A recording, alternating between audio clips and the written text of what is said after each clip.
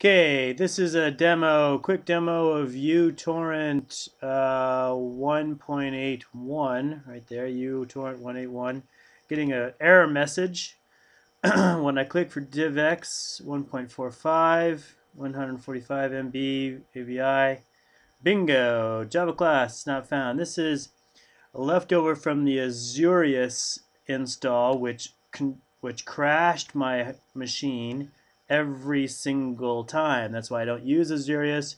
But you can see I can't use uh, uTorrent. Let me close, actually clear all these. I can't use uTorrent or whatever it's called, Alpha Torrent, Zeta Torrent. I don't remember my Greek letters.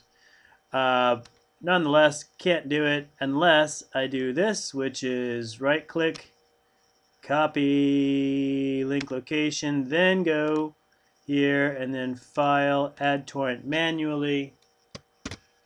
Ooh, is that going to work? Uh, that's probably not going to work.